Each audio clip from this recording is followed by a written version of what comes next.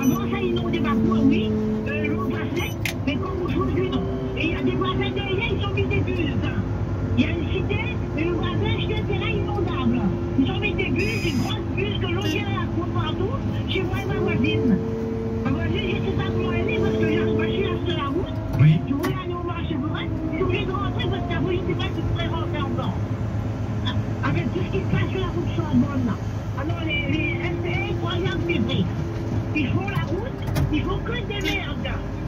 Mm. Euh, L'équipement, je la pas là, parce que moi j'ai donné le droit de faire un trottoir, mais il m'a foutu dans la merde. Excusez-moi, hein Mhm. Excusez-moi. Parce que là, là, euh, on est vraiment dans la cata, comme on dit. hein. Ah, mais c'est incroyable, mais vrai, hein.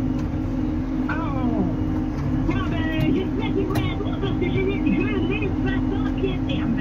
Pour une fois de ma vie, mais ils vont entendre, hein. On rappelle qu'on est là. Je ne vais pas engueuler les gens, et ils ne sauront pas. Ouais, on la route de Chambord du côté de Saint-André avec vous. Le cimetière, il y a de l'eau, là. Là, juste en le vieux cimetière, il n'y en a pas. Mais plus auprès de l'église, il y en a plein.